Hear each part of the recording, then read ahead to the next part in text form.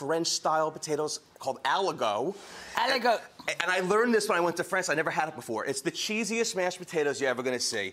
So basically, what I did, I took about two and a quarter pounds of Yukon or a, a russet Yukon potato. Golds, right? Yep. Peeled them, put them in the instant pot, quartered them, uh, about a cup of liquid, and then I pressure cooked them for eight minutes. So this is done. Beautiful. Done. I- I'll just have strained Eight them. minutes. That's it. Eight minutes, and look at how beautiful. We've strained the pot.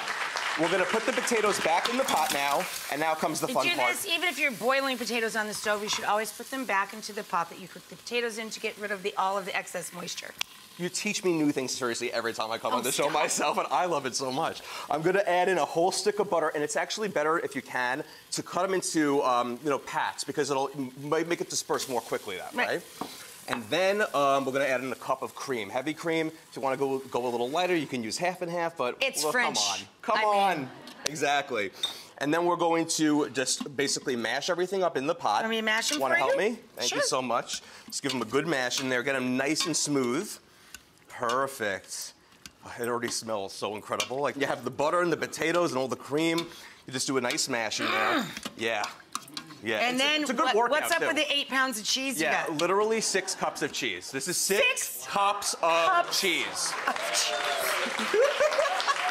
To two pounds of potatoes? Yeah, we're not lying here because this is gonna stretch like taffy when it's all said and done here, okay? Okay. We're literally going to just add this cheese like in batches in there. Okay. And then start going. And then we can go from like the, the masher to like a mixer when it gets a little smooth. And Okay. I'm doing a mix of mozzarella and like a, a Swiss or Gruyere.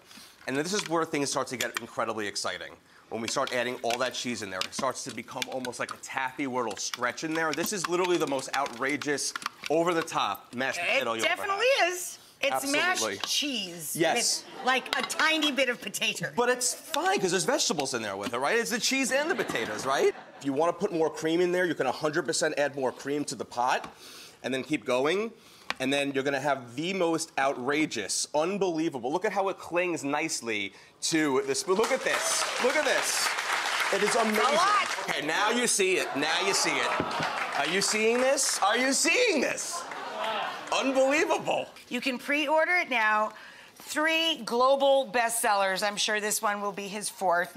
Uh, this is Super Shortcut Instant Pot. Uh, it's coming out in April. Pre-order it now. Thank you so much to our dear, sweet friend, Jeffrey Eisner. Thank you.